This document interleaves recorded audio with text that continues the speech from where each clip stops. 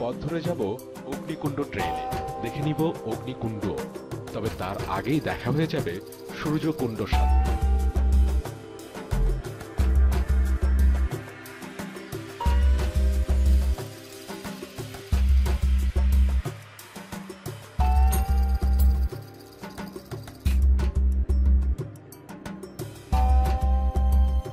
দূর থেকে দেখে মনে হবে যেন অবহেলা আর অযত্নে পড়ে আছে একটি পুরনো ঘর। দেয়ালে তার শ্যাওলার সবুজ আস্তরণ বহু পুরনো লালিটের ফাঁক করে বাড়তি সৌন্দর্য ঢেলেছে সবুজ কিছু দেয়াল বৃক্ষ। আমি এখন এই পুরনো যে ভবনটির সামনে দাঁড়িয়ে আছি, এটি হচ্ছে সূর্যকুণ্ড। সতেরোশো সাতান্ন সালে এটি তৈরি হয় এবং এত বছর পেরিয়ে এসে এখন এটার বাইরে এবং ভিতরে যে অবস্থা, সেখানে আসলে দেখার কিছু নেই। কিন্তু তারপরও হিন্দু ধর্মাবলম্বীদের কাছে এটি এখনও একটি পবিত্র তীর্থস্থান এবং প্রতি ফাল্গুনে এখানে কিন্তু পুজো হয় এবং সেই পুজোতে বিভিন্ন দেশ থেকে কিন্তু এখানে লোক আসে এবং আমরা স্থানীয়দের কাছ থেকে শুনেছি যে এখানে প্রায় লাখ মানুষের মিলন মেলা ঘটে। এবং আমরা আরও শুনেছি যে এইটি এখন পানি দিয়ে সম্পূর্ণ পরিপূর্ণ সেই জন্য ঠিকভাবে দেখানো যাচ্ছে না। তবে এর নিচে এরকম আরও দুই থেকে তিন তালা আছে এবং ধাপে ধাপে সিঁড়ি চলে গেছে নিচে। এবং আমরা এটাও শুনেছি যে সেখানে একটি ব্রোঞ্জের মূর্তি ছিল। সেই মূর্তিটি অবশ্য এখন নেই। এবং যখন এখানে পুজো হয় এবং লাখ লাখ মানুষ আসে, তখন কিন্তু এখানে খাজ আছে, সেই খাজে কিন্তু মোমবাতি জ্বালানো হয় এবং রাতে সেই মোমের আলো কিন্তু চারপাশটাকে একটা অদ্ভুতভাবে আলোকিত করে। তো এই চারপাশে শুধু সূর্যকুণ্ড নেই, অগ্নিকুণ্ডও আছে এবং আরও একটা মন্দির আছে। তো আমরা এখন সেদিকে যাব এবং সেটা দেখে আসব।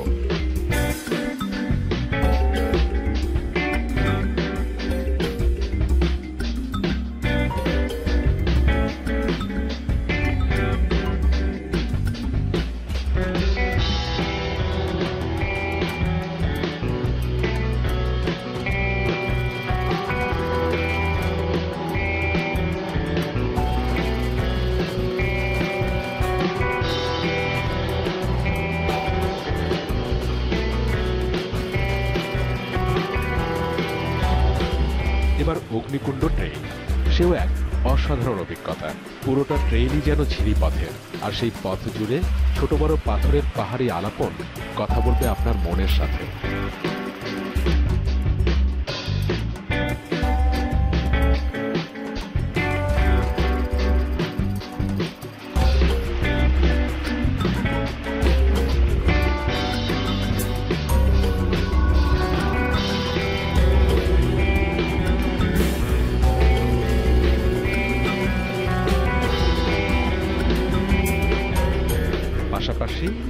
জলধারার বয়ে যাবার যে বাদ্য, নিস্তব্ধতার মাঝে সেই সুর আপনাকে বাধ্য করবে কান পেতে শুনতে। তবে সাবধান থাকতে হবে এখানেও, কারণ পথের কোথাও কোথাও বেশ পিছিয়ে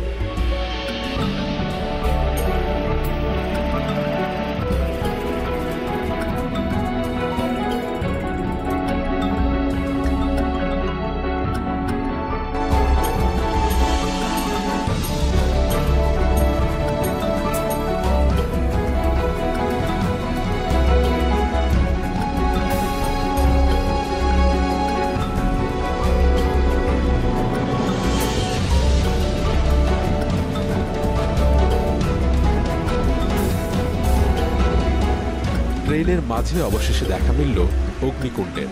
কিছুই না, পাহাড়ের মাঝে ছোট্ট একটু জায়গা। প্রথমে তাই হতাশ হলেও পরে বেশ মজা পেলাম। এখানে নাকি পাথর ছুড়লে আগুন জ্বলে ওঠে। আমরাও চেষ্টা করলাম, তবে নিজেরাই চললাম অগ্নিকুণ্ড তখন যে অনবরত বৃষ্টির জলে ভিজে চুপচুপে।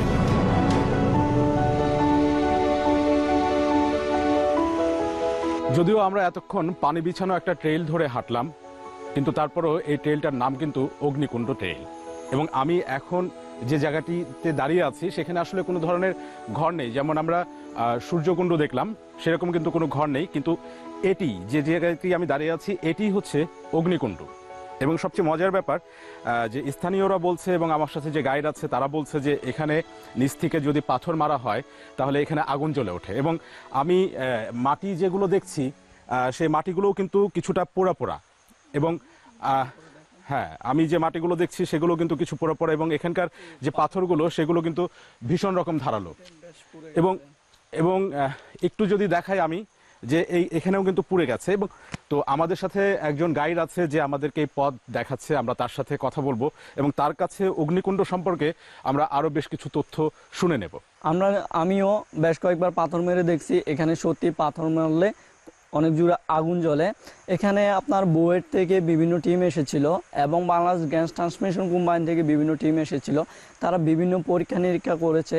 আসলে এই জায়গাটা পাথর মারলে আগুন জ্বলার কারণটা কি? ঠিক তারা এলো, আমরা তাদেরকে জিজ্ঞেস করার পর যে, ভাইয়া, কী কারণে? তারা আমাদেরকে বলে গেল, এখানে গ্যাসের সন্ধান আছে। কিন্তু তারা হয়তো বাংলাদেশ তথ্য প্রযুক্তির দিকে অতটা উন্নত নয়, যার কারণে এই কাছ থেকে গ্যাস উত্তোলন সম্ভব নয়। কিন্তু তারা এটা নিয়ে গবেষণা করবে, এই ধরনের একটা আশ্বাস দিয়ে গেছে।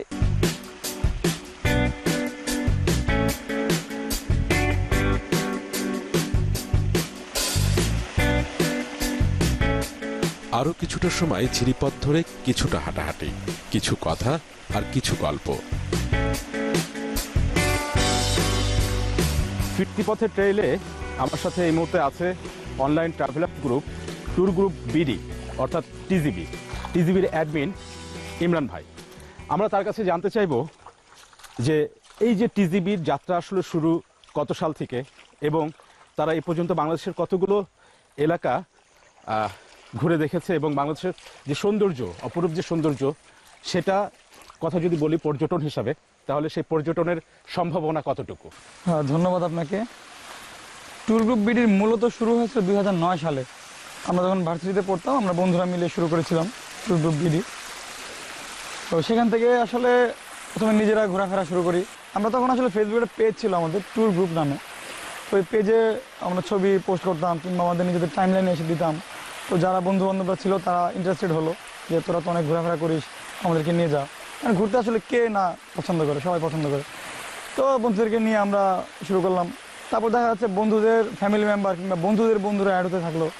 তারপর এভাবে আসলে আমাদের একটা সময় পরে মানে একটা হিউজ পিপল হয়ে যায়। তো যারা রেগুলার ঘুরতে চাচ্ছে আমাদের সাথে, যেতে চাচ্ছে, নতুন নতুন ডেস্টিনেশন চাচ্ছে, তো আমরাও আসলে মজা পাই। আমরাও তখন ঘোরাফেরা শুরু করি খুব ভালো মতোই। এই যে বাংলাদেশে অনলাইন ট্রাভেলার্স যে গ্রুপগুলো আরও অনেক গ্রুপ আছে, তার মধ্যে টিজিবি একটা। তো আমি টিজিবির কাছে জানতে চাইব যে বাংলাদেশের যে পর্যটন সম্ভাবনা, এটা আসলে কতটুকু? লাস্ট দুই বছর বা তিন বছরে আপনার কোনো একটা বন্ধের দিনে আপনি কোথাও যাচ্ছেন? কোনো বাসের টিকিট বা কোনো রকম কোনো রিসোর্টে কোনো খালি পাবেন না। এর মানে হচ্ছে যে বাংলাদেশে এখন মানুষ প্রচুর ঘুরছে। এটা হচ্ছে ধরেন বাংলাদেশে যারা ঘুরছে, তাদের পক্ষ থেকে বলা যে এটা একটা মার্কেট আমাদের তৈরি করা আছে অলরেডি এখন সম্ভাবনার যে ব্যাপারটা হচ্ছে আমাদের বাংলাদেশে পর্যটন স্পট একটা সময় খুবই সীমিত ছিল। আমরা ভ্রমণ মানেই বুঝতাম কক্সবাজার, জাফলং সুন্দরবন, সেন্ট মার্টিন, এই। এখন কিন্তু এর বাইরে অনেক জায়গা তৈরি হয়েছে। বান্দরবনে বেশ কিছু জায়গা তৈরি হয়েছে। আমরা যেখানে আসলাম, এটাও কিন্তু কোনো সময় একটা পর্যটন স্পটের মধ্যে ছিল না।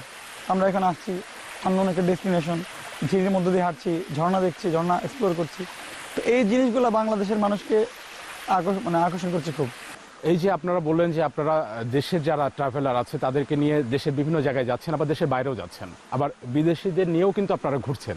তো আমি যদি আসলে জানতে চাই যে পর্যটন যে এরিয়াগুলো আছে, সেই জায়গার যে সৌন্দর্য রক্ষার ব্যাপারটা কিংবা সৌন্দর্যের ব্যাপারটা মানে এই দুই ক্ষেত্রে দেশ এবং দেশের বাইরের মধ্যে কোনো ধরনের পার্থক্য আপনার চোখে ধরা পড়েছে কিনা? বাইরের সাথে আমাদের দেশের যে মূল পার্থক্য, সেটা হচ্ছে বাইরের মানুষ খুব সচেতন। তারা তাদের জায়গাগুলোকে খুবই পরিচ্ছন্ন রাখে। তারা তাদের ট্যুরিজমটাকে খুব রেসপেক্ট করে।